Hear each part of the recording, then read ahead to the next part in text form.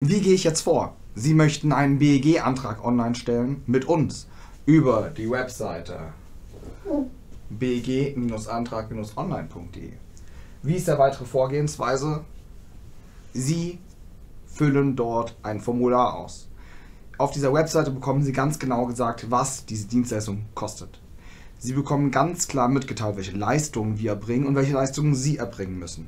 Das ist ein reiner Remote Support Dienstleistung von einem Ingenieurbüro für Sie als Privatperson in ganz Deutschland.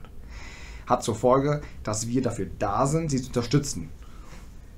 Aber wie Sie vorgehen ist, Sie füllen das Formular aus, dort sind alle notwendigen Daten, die wir für den Antrag brauchen, sind drin. Durch unsere Automatisierung triggert das in unsere verschiedenen Systeme rein. Sie äh, melden sich für einen Telefontermin bei mir oder einem Kollegen automatisch, mit dem Sie dann ein Gespräch noch führen, wo Sie noch Ihre restlichen Fragen beantworten können. Dann bekommen Sie ein Angebot genau auf Ihre Maßnahmen zugeschnitten, das Sie dann direkt beauftragen können und wir würden auch direkt losgehen und starten. Das wäre im Endeffekt der Ablauf. Sie haben keinen Stress, keine Action, Sie können alles übers Handy machen und wir sind komplett remote für Sie da, über den kompletten Ablauf.